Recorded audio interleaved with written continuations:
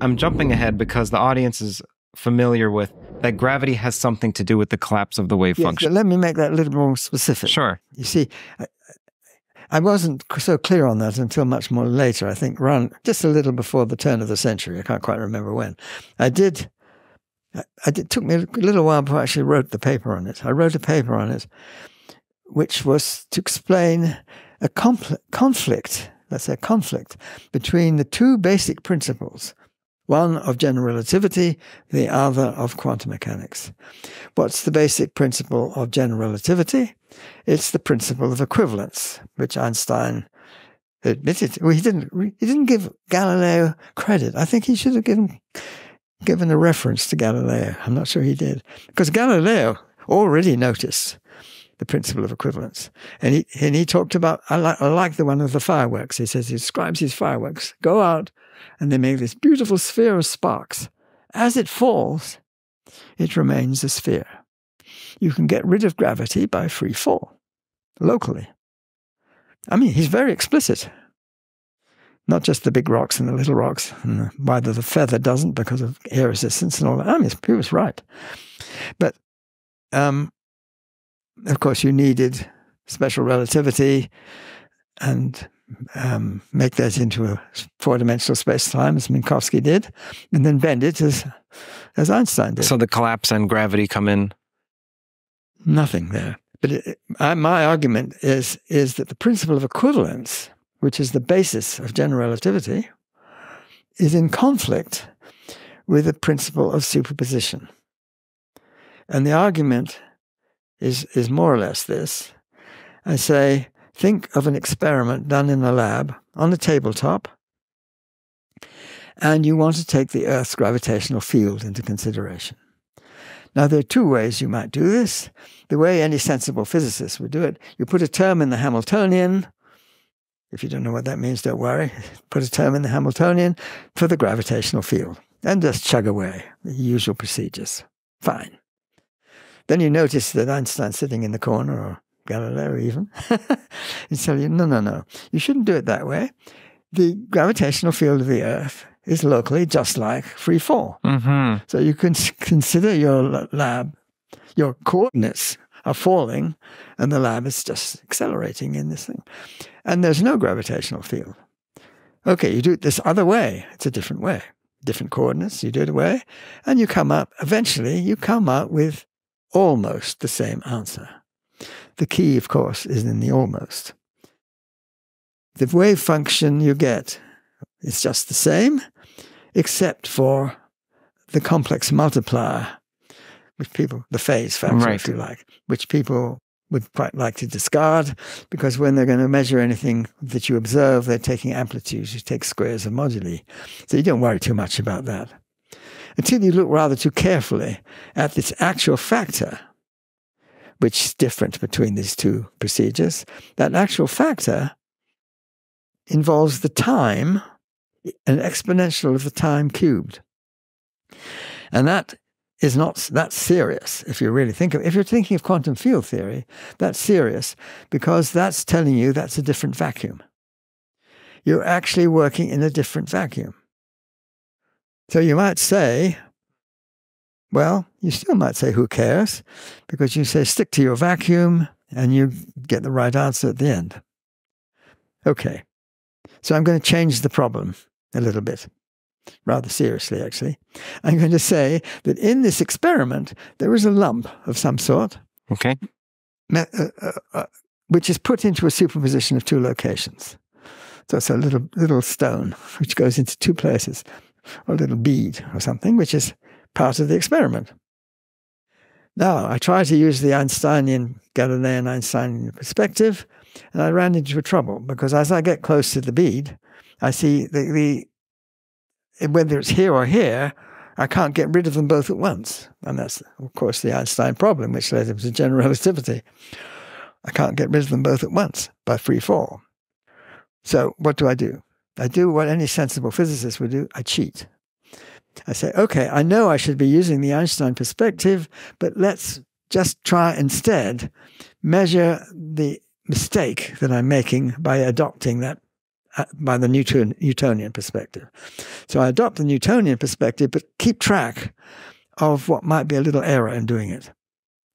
Then I integrate that error over space, and I do a little integration by parts and some little bit of fiddling around with it. And I get with an answer which looks like a uncertainty in the mass of the system. It is the mass of the system, but it's not the the fact that it's a superposition uh-huh. it gives me an uncertainty of that mass. Now I can measure, and now the thing is that's a bit like particle physics, where you have if you have a decaying particle, its mass is not completely well defined. It has an, error, a fuzziness in its mass, which is given by the Heisenberg time energy uncertainty principle. So it's it's lifetime, if it's an unstable particle, is inversely related to this sort of fuzziness in its mass. Now here I have fuzziness. I have a fuzziness in, in the energy of the system, the mass energy of the system. So I say that's the reciprocal of that in natural units is the when I say natural units, I mean making all the things equal to one that you can do, as Dirac sort of initially right. pointed out, I guess. And I get the formula, which Diósi had already discovered a couple of years earlier than me. Right, for different reasons. I, I didn't know he'd done that. It was a different argument. Uh-huh. But I thought this was a nice argument because it does reveal the tension between these two very basic principles principle of equivalence and the principle of superposition. And they're a bit in conflict with each other. And the resolution of this conflict comes through allowing your unstable state to collapse into one or, or the other. Now, it's what you only get from this way of looking at it is an uncertainty in the mass. And I know that Ivette's looking directly at this right. thing rather than looking at the collapse, which is a powerful thing to exploit. And just for people who are wondering about Ivette Fuentes, there's a podcast on screen right now where we go into two hours in depth into this topic. Now, do you have a mechanism for why or how gravity collapses the wave function? Or do you just say it has to, a collapse I has said it, it, that's where the new theory has to come in. I'm just saying, look, I'm, I have a problem, I need a theory. No, the, all I can say is that it tells me how big the factor should be. You see, it tells you, you can measure this uncertainty, and it's not so hard. You just think of the, the bead that I was looking at. Imagine the two copies of the same bead, and I move it into this superposition, and I ask how much energy would that cost me where I ignore all forces except gravity. Very tiny usually, but uh, it's nevertheless, it's enough to collapse the state for any, even a flick of dust will collapse in a very short period of time. So it gives you that much. And it's the same as Diósi. It's the same formula. It's not a theory in the sense that his was. I mean, he, I think his ideas got, as far as I'm aware, rather shot down by the Gran Sasso experiments. Was it? There's the thing they took this thing down a mine shaft or something. No, it's to do with the heating. They they anticipate bodies spontaneously heat which I don't want. That shouldn't happen. But that's because the collapse has a very curious. You see, if you want to make it consistent with special relativity, don't worry about general relativity at the moment, you're in, really already in trouble. Because you imagine a body going, splitting, it's the superposition. It's not two bodies. It's one body, superposition of here and here. They get very far away from each other. They haven't collapsed yet. And now they're going to collapse. One goes. In whose frame does that happen? Mm-hmm. Is that a frame you should be talking about? How do you make that consistent? It, well, what you've got to do, I'm not worried about that. Lots of people seem not to worry about that. I'm worried about that. You say, okay, the only thing you can do, which is relativistic, I mean, can, there are other wrong routes you can take, which I won't go into because they, sure. it's quite a bit of a more story than I'm making out here. The only route you can take is to say the collapse actually took place right back to where the split initially took, and then there was only one route. But what about the other route? Well, what I have to do is to describe things in terms of two different kinds of reality. One of them is quantum reality, and one of them is classical reality. So one doesn't give rise to the other? They're actually separate? Well, it's the quantum reality, if you like, which does give rise to the way that the classical reality behaves, but it does it in a kind of retrocausal way. Ever been lost deep in thought and then realized you don't have any dinner plans? Well, that's where HelloFresh comes in. They deliver farm fresh, pre portioned ingredients and seasonal recipes directly to your door, making it extremely easy to cook at home. With over 50 weekly meal choices, my wife and I love trying new flavors.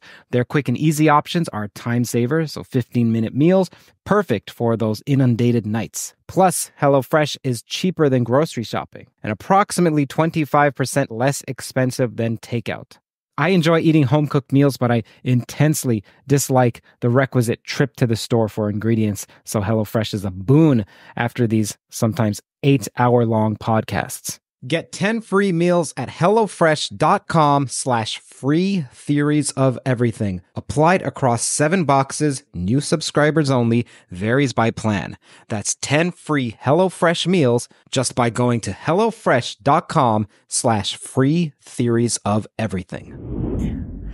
One of them is quantum reality, and one of them is classical reality. So one doesn't give rise to the other? They're actually separate?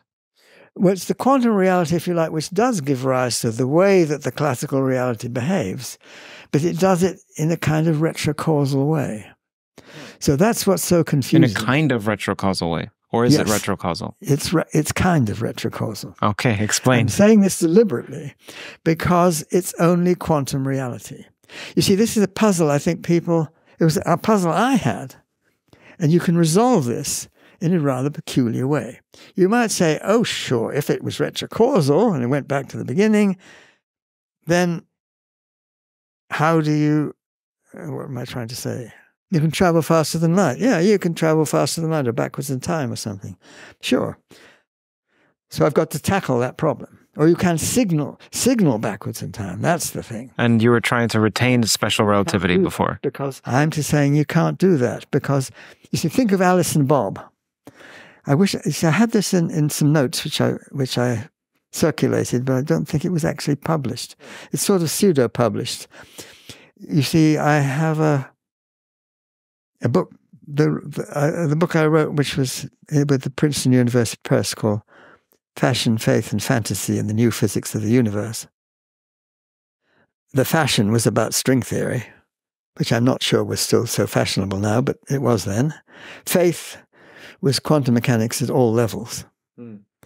And fantasy actually had to do with cosmology. It was to do with inflationary cosmology, because I simply thought inflation is much too fantastic. That's another story. But the fashion, uh, so I had to write this new preface. They're going to bring it out. It's out now. I think it's almost out now.